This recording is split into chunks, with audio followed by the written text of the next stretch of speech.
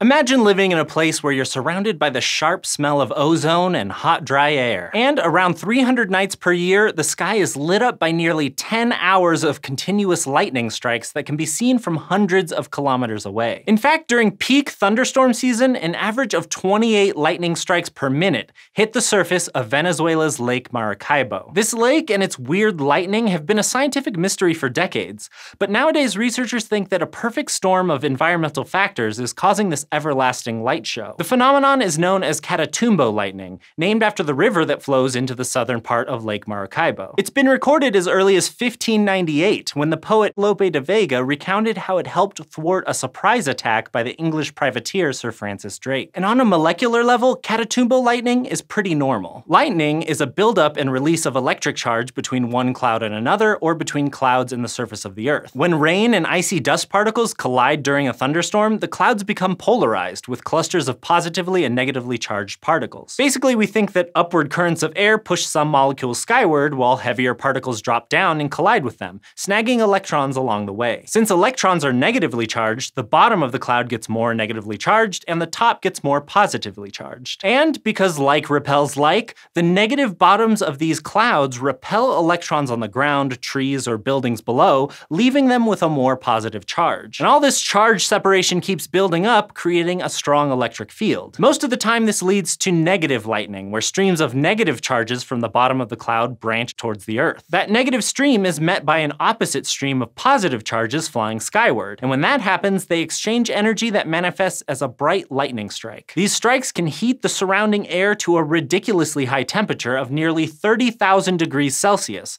around five times hotter than the surface of the sun. Now, scientists have been baffled by the fact that Catatumbo lightning happens in the same place place night after night with an estimated 1.2 million strikes per year. One Venezuelan scientist who surveyed the area in the 1960s took a guess that uranium deposits in the nearby bedrock might act like a lightning magnet, drawing a disproportionate number of ground strikes, but that idea was a dead end. Another researcher thought that all this lightning was thanks to an excess of methane oozing up from nearby oil fields and swamps. Specifically, he thought that methane's molecular geometry increased the separation of positive and negative charges inside the storm clouds, which is an important step in making lightning. But neither of these hypotheses have been thoroughly supported by other scientists, so they fall short to a simpler explanation. Nowadays, researchers mostly attribute Catatumbo lightning to the area's unique topography, the shape of the Earth's surface in a given area. Many of the world's lightning hotspots are linked to geographical features like curved coastlines and nearby mountain ranges, plus winds that help cook up thunderstorms. Lake Maracaibo is surrounded by the Andes Mountains and other branching ranges to the southwest and east,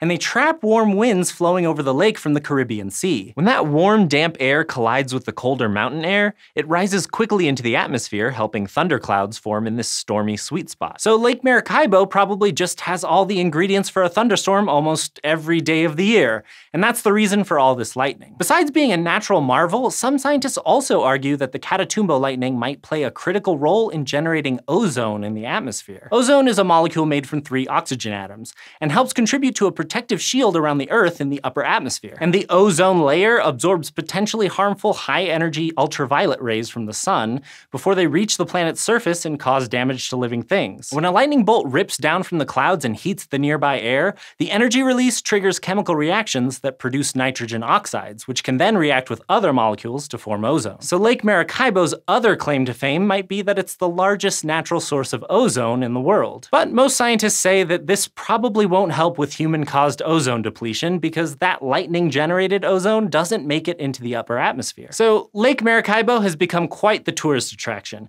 but for scientists, it's a chance to dive deeper into why some parts of the world are a little more electric than others. Thanks for watching this episode of SciShow. If you want to learn about more weird places hidden on Earth, check out this compilation of six of our videos about them. And don't forget to go to youtube.com slash scishow and subscribe.